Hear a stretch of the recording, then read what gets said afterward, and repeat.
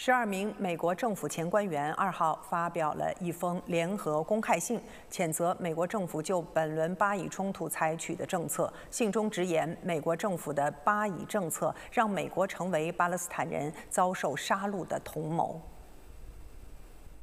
美国政府的加沙政策是失败的政策，威胁到美国国家安全。公开信写道：加沙地带受困的巴勒斯坦人遭杀戮，被迫挨饿。而美国在外交上袒护以色列，并持续输送武器，使我们无可辩驳地成为同谋。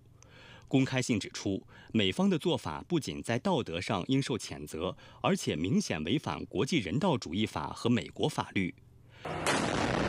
公开信还指出，偏袒以色列向全世界暴露出美国的双重标准。信中说，当美国国务卿布林肯一边谈论基于规则的国际秩序，一边却为了偏袒以色列而破坏它，谁会不发出嘲笑呢？美方的不公正做法向全世界暴露出，对美国政策制定者而言，谁的命是命，谁的命不是。去年十月十八号，本轮巴以冲突爆发仅十多天，时任美国国务院分管武器交易的资深官员乔西·保罗即宣布辞职，原因是美国政府加速向以色列提供致命武器的政策，令他觉得工作难以为继。从那时起，时任美国教育部政策顾问塔里克·哈巴什、美国国务院官员安尼尔·谢莱恩、美国国务院阿拉伯语发言人哈拉·拉里特以及美国国防情报局官员陆军少校哈里森曼等人都因不满美国政府的巴以政策相继辞职。I've been a diplomat for 18 years. I never expected to resign, but it was day after day, human rights violation after human rights violation. That led me to finally decide I could no longer be part of the system and I needed to get out of the system in order to be able to speak freely about what's really happening. And what's happening is a violation of US law, it's a violation of international law. This militaristic policy has failed. It has not achieved any of its objectives in Gaza. It has only led to intense suffering for both Palestinians and, in the long run, for Israelis as well.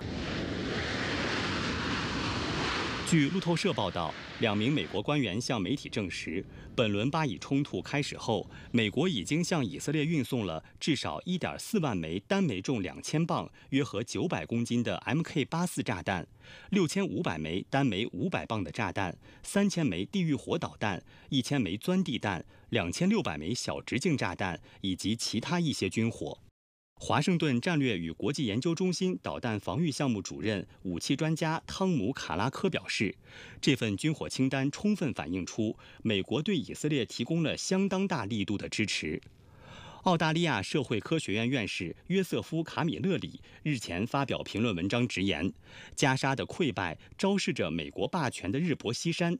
文章称，拜登政府对以色列的过度支持延续了由来已久的美以特殊关系。但本轮巴以冲突中，以色列在加沙的野蛮行径严重削弱了以美两国的外交影响力，不仅暴露并加剧了以色列内部的政治分歧，而且在高度分裂的美国社会中制造了新的矛盾。